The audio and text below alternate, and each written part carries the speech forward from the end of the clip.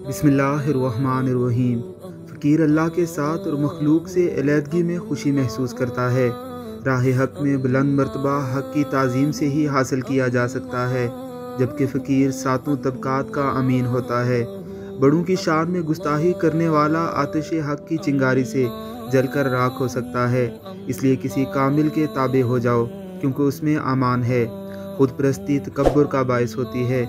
और सरकशी बुरी आदतों की वजह से होती है। नेक लोगों के लिए अल्लाह अजवाजल ने नजस को पाक कर दिया है और शेह कामिल एक लामहदूद कीमिया है।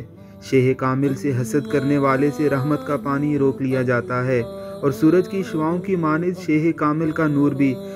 नजासत गवारा नहीं करता। मौलाना जलालुद्दीन रूमी रहमल्ला बयान करते हैं कि फ़कीर अल्लाह अजवजल के कुर्ब में राहत महसूस करता है और मखलूक से अलीहदगी में खुशी महसूस करता है। अगर तुम बुलंद मरातब के ख्वाहिशमंद हो तो फिर किसी की सहबत इख्तियार कर लो कि शह कामिल की सोहबत की बदौलत तुम राह तसवुफ़ के पुरखतर रास्तों में चल सकते हो। शेह कामिल की रहनमाई और उसकी नज़र करम की बदौलत ही तुम्हारा बेड़ा पार लग सकता है। बस तुम्हें चाहिए कि शेह कामिल के दस्ते हक पर बैत करो, और हमा वक्त उनकी खिदमत करके वहदत हक से हमकनार हो जाओ।